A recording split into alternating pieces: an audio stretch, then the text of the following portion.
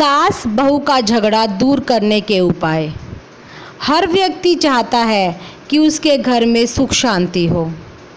सास ससुर या दूसरे शब्दों में कहें तो माता पिता या ससुराल पति पत्नी के जीवन का एक महत्वपूर्ण हिस्सा होते हैं। उन्हें अपने जीवन के एक महत्वपूर्ण भाग के रूप में आप अच्छी तरह से रख सकते हैं। लेकिन कई बार देखा जाता है कि परिवार में लड़के की शादी होने पर जब घर में बहू आती है तो परिवार के लोगों का उसके साथ समाज से नहीं बैठ पाता है। घर में कलह होनी शुरू हो जाती है। सास और बहू का झगड़ा आज हर घर में आम बात हो गई है। आज के दौर में ऐसा घर बड़ी मुश्किल से मिलेगा जिसमें जहाँ पर सास बहू का झगड़ा न हो। कई बार ये झगड़ा इतना बढ़ जाता है कि दोनों साथ साथ नहीं रहना चाहती और ये क्षण सबसे कठिन होते हैं। मात्र कुछ उपायों को करने से ये झगड़ा शांत हो सकता है। घर में बर्तन गिरने टकराने की आवाज़ न आने दें। घर के उस कमरे में जिसमें आप रहती हैं, उसके दक्षिण पश्चिम कॉर्नर में उजाला रखें और अपनी सास के साथ एक अच्छी फ़ोटो उस जगह लाएँ।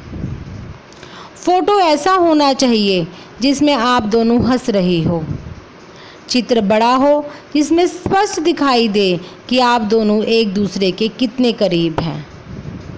ये उपाय आपके बीच प्रेम लाने के चमत्कारिक कार्य करेगा।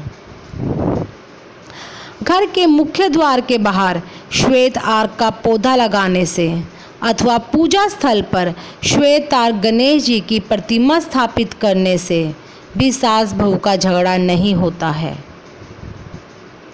यदि किसी परिवार में सास बहू में झगड़ा होता रहता हो तो बहु पूर्णिमा की रात में खीर बनाकर चंद्रमा की किरणों में रखें और फिर वह खीर अपनी सास को खिला दें।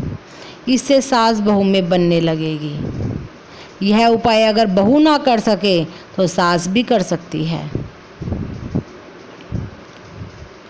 घर के दक्षिणी पश्चिमी हिस्से में एक टेबल पर फैंग शुई क्रिस्टल की बोल रखें। ये उत्कृष्ट ऊर्जा का प्रवाह करेगी, जिससे आप दोनों के बीच रिश्ते मज़बूत होंगे।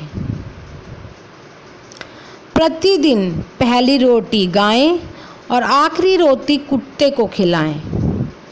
रोटी देते समय मन ही मन प्रार्थना करें कि घर में से तनाव दूर हो जाए। यदि किसी महिला की सास या ससुर उससे नाराज़ रहता हो तो वह महिला प्रतिदिन जल में गुड़ मिलाकर सूर्य देव को अर्घ दे तो उसकी यह समस्या दूर हो जाती है। अपने घर की किसी दीवार का रंग लाल करवाने से भी झगड़े खत्म होते हैं। ऐसा माना जाता है कि लाल रंग अग्नि तत्व प्रधान होता है और इसकी ऊर्जा से सास और बहू के बीच तनाव और मतभेद का नाश होता है। सास बहू में कलेश होने पर जो चाहता है कि आपसी रिश्ते सुधरे, उसे गले में चांदी की चैन धारण करनी चाहिए। और यह भी ध्यान रहे कि कभी किसी से भी कोई वस्तु, सफ़ेद वस्तु न लें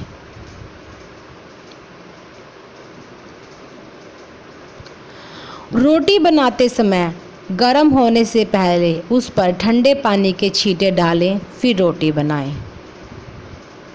यदि आप अपनी सास के साथ रहती हैं और घर में आपकी सास का ही राज चलता है, तब परिस्थिति और मुश्किल हो जाती है ऐसी स्थिति में लाफिंग बुद्धा रखने से घर में सकारात्मकता आती है और प्रसन्नता का माहौल रहता है। जिस घर की स्त्रियाँ या बहू घर के वाव्य अर्थात उत्तर पश्चिम कोण में शयन निवास करती है, वह अपना अलग से घर बसाने के सपने देखने लगती है। इसलिए इस दिशा में नई दुल्हन को तो बिल्कुल भी नहीं रखें। अन्यथा उसका परिवार के साथ अलग होना तय है। वास्तुशास्त्र के नियम अनुसार दक्षिण पश्चिमी कोण में सास को सोना चाहिए, उसके बाद बड़ी बहू को पश्चिम दिशा में और उससे छोटी बहू को पूर्व दिशा में शयन करना चाहिए। इससे घर की स्त्रियों में प्रेम बना रहेगा। घर में तुलसी का पौधा लगाएँ तथा प्रतिदिन इसकी पूजा करें। सुबह शाम इसके पास दीपक लगाएँ, इससे सास बहू में झगड़ा नहीं होता है। सास व बहू के आपसी संबंध में कटुता होने पर बहू या सास दोनों में कोई भी चांदी का चकोर टुकड़ा अपने पास रखे और ईश्वर से अपनी सास या बहू से अच्छे संबंध संबंध अच्छे रहने की प्रार्थना करें। इससे दोनों के बीच में संबंध प्रगाढ़ होते हैं। घर में बच्चों का होना भी आपसी सौहार्द उत्पन्न करने की मज़बूत कड़ी है। बच्चों की शुद्ध और सकारात्मक ऊर्जा सास और बहू के आपसी झगड़ों की ऊर्जा को प्रभावित कर देती है। किचन कभी भी घर के ईशान कोण या मध्य में ना हो।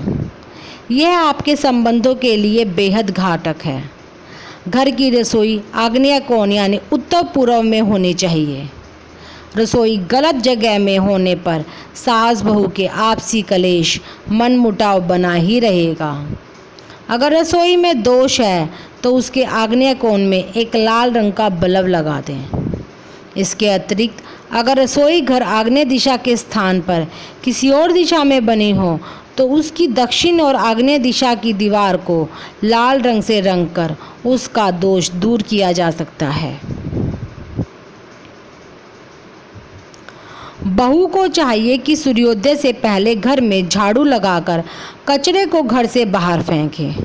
इस उपाय से घर की नकारात्मक ऊर्जा बाहर चली जाती है और घर में शांति रहती है।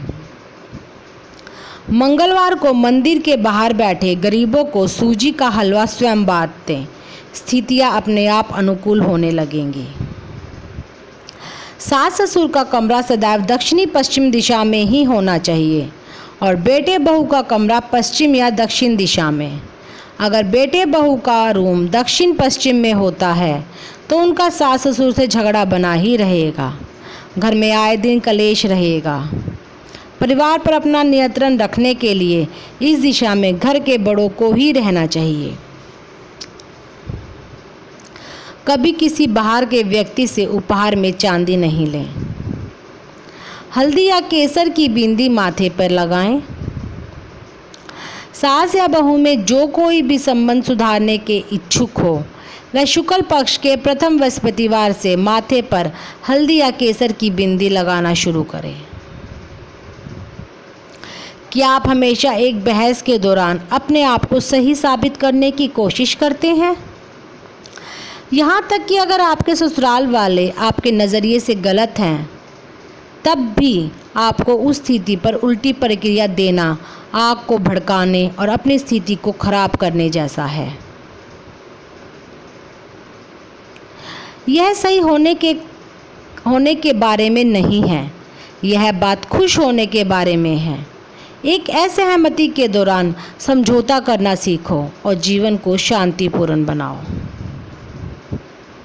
सोमवार के दिन दूध का दान करें और शिवलिंग पर दूध चढ़ाएँ।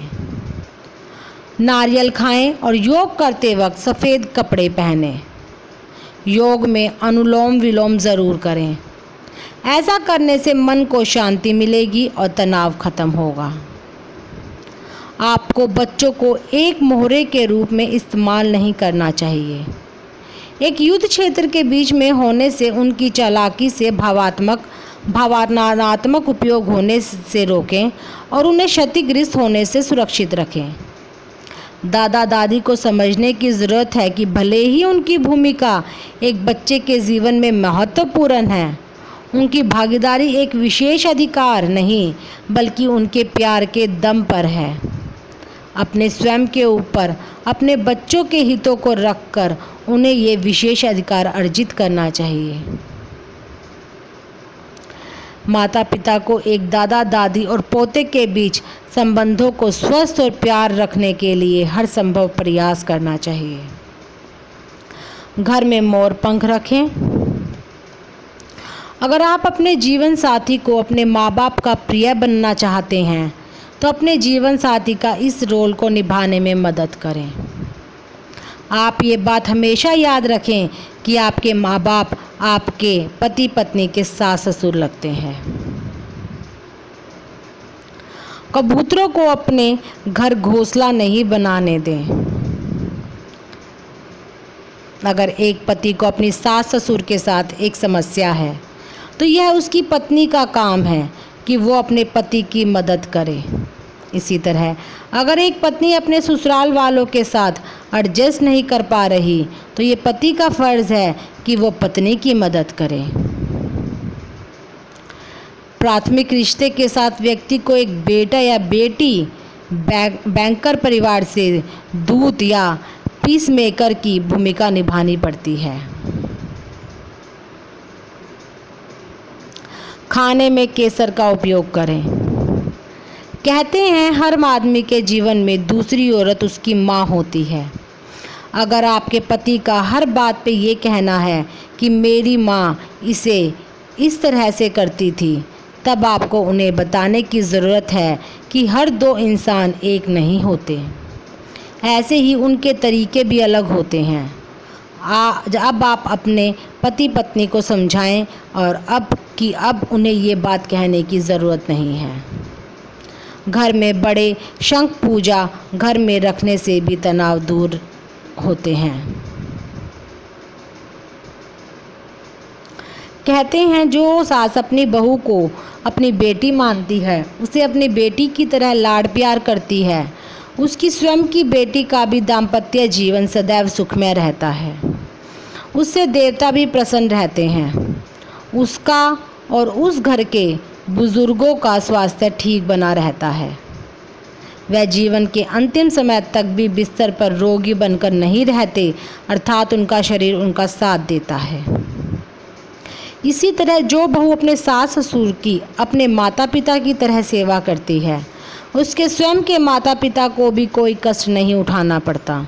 उनका बुढ़ापा बहुत आसानी से हंस खेल कर कट जाता है। जो बहू अपने सास ससुर और ससुराल वालों के साथ मिलकर रहती है, उनका ध्यान रखती है, उनका दिल नहीं दुखाती। अर्थात घर में प्रेम और हर्ष के बीज को लगाकर उसकी देखभाल करती है, उसे पौधे और वृक्ष का रूप देती है। उसके पति बच्चों पर कोई भी आकस्मिक विधपा नहीं आती है। उस परिवार में धन की कोई कमी नहीं होती और उस स्त्री और उसके पति से रोग दूर ही दूर ही रहते हैं। उस परिवार के बच्चे भी उस प्रेम और सद्भाव के वृक्ष की छाव में बड़े होकर अपने माता पिता के आज्ञाकारी होते हैं, उनकी सेवा करते हैं, अंत तक उनके साथ रहते हैं और उन्हें कोई भी कष्ट नहीं होने देते हैं।